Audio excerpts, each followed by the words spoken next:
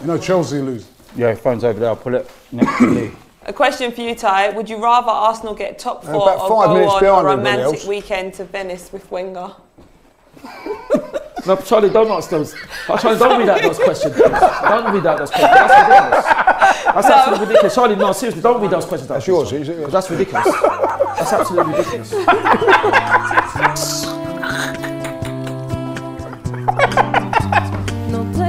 Which one? but somewhere to Which one? Which one?